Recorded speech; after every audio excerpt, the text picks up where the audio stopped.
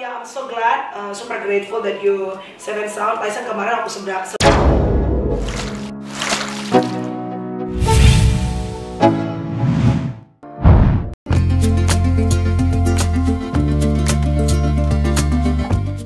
Halo, apa kabar sahabat berita artis terbaru? Artis memiliki suami bule tentu saja bukan hal yang aneh dan mustahil lagi. Terutama bagi para artis Indonesia ya guys. Pasalnya, mereka memiliki paras yang cantik sehingga para artis ini mampu untuk memikat dan meluluhkan hati para pria bule dari berbagai belahan dunia. Banyak dari mereka bahkan memutuskan untuk hengkang dari dunia entertainment dan pindah ke luar negeri mengikuti sang suami. Seperti halnya Melanie Ricardo, Maudi Ayunda, hingga Nadia Vega. Deretan artis lawas punya suami bule. Nomor 5 bikin kaget.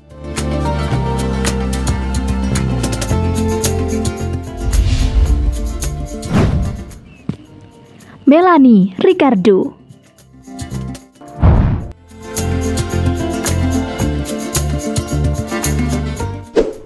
Artis yang memutuskan untuk menikah dengan pria bule yaitu Melanie. Setelah merajut kasih selama satu setengah tahun, akhirnya artis cantik Melanie Ricardo dipersunting kekasihnya, Tyson James Lin, pria asal Australia. Keduanya memantapkan dan menetapkan pernikahan mereka pada Juli 2010 lalu. Dan 2012 pasangan ini dikaruniai anak perempuan.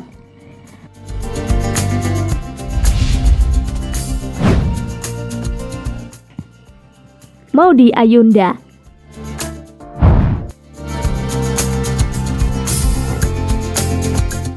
Belum lama ini artis cantik Maudi Ayunda sempat menggegerkan publik lantaran keputusannya untuk menikah.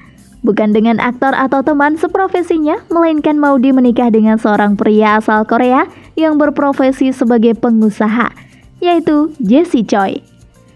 Dalam prosesi pernikahannya, sang suami mengikuti tata cara ajaran agama Islam. Jadi, sudah bisa dipastikan jika Jesse sendiri telah resmi menjadi seorang mualaf. Kabarnya Jesse telah menjadi seorang muslim dua bulan sebelum prosesi pernikahannya berlangsung. Padahal dulunya Jesse adalah pria ateis.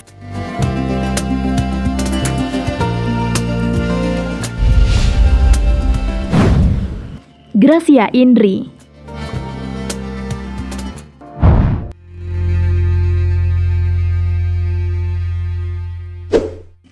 Artis menikah dengan bule Eropa tampan selanjutnya ada Gracia Indri. Artis yang memiliki nama lengkap Gracia Indriasari Sulistianing Rum adalah seorang presenter, aktris, dan komedian. Setelah bercerai dengan mantan suami David Noah, dirinya kembali menikah dengan pria asal Belanda yang bernama Jeffrey Gracia Indri. Dan Jeffrey melangsungkan pernikahannya dengan Gracia Indri di Belanda pada 21 November 2021 lalu.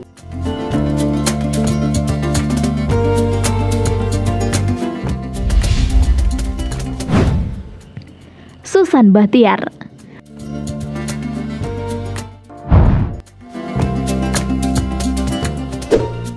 Susan masuk dalam deretan artis yang memiliki turunan darah Tionghoa. Hal tersebut dia dapatkan dari sang ayah yang merupakan asli warga Tionghoa, sedangkan ibundanya merupakan asli warga Indonesia. Jadi bisa dibilang Susan ini blaster ya guys. Di tahun 2012 setelah gagal berumah tangga dengan Sunardi Supangat, Susan menikah kembali dengan seorang bule bernama Roger Van Tongeran. Suaminya ini merupakan seorang bule asal Belanda yang juga teman lama Susan. Sudah 8 tahun bersama, rumah tangga Susan dan Roger tampak selalu harmonis hingga kini.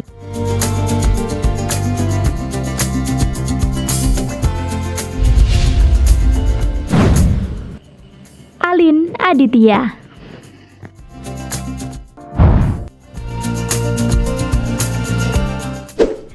Alin merupakan model sekaligus presenter berdarah campuran Batak, Jawa, Belanda, dan Tionghoa.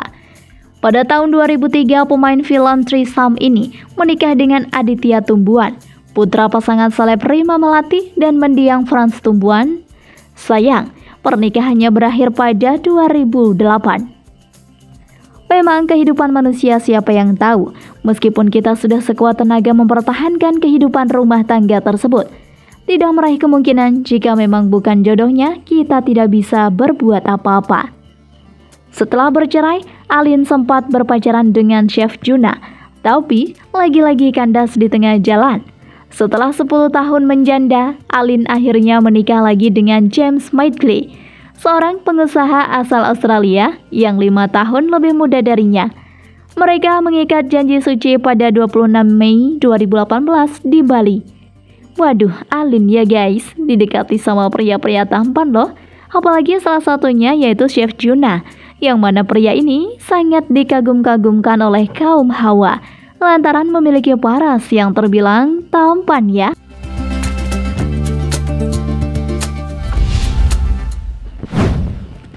Paramita Rusadi.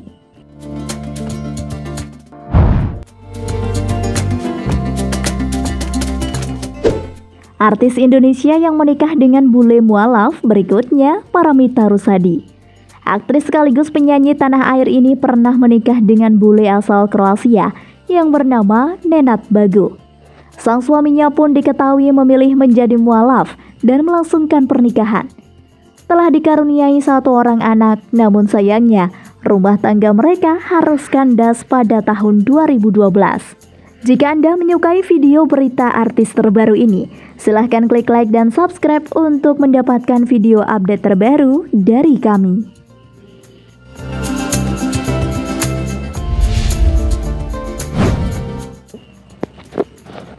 Ayu Azari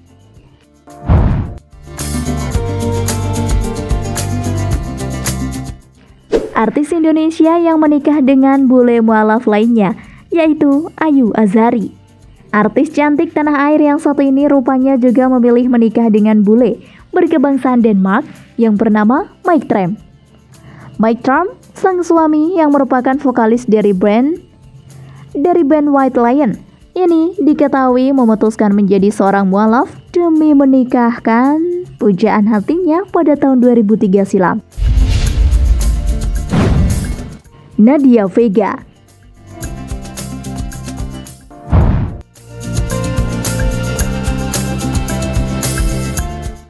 Artis Indonesia yang menikah dengan bule mualaf selanjutnya Nadia Vega. Artis cantik bintang sinetron ini dipinang oleh laki-laki kebangsaan Belanda yang bernama Jarjorik Kozi. Sempat terhalang agama akhirnya, Jarjorik Kozi akhirnya memutuskan mualaf sebelum melangsungkan pernikahannya. Sang suami pun mengganti namanya menjadi Sultan Yarjorik Dozi dan kini mereka memutuskan untuk tinggal di Singapura.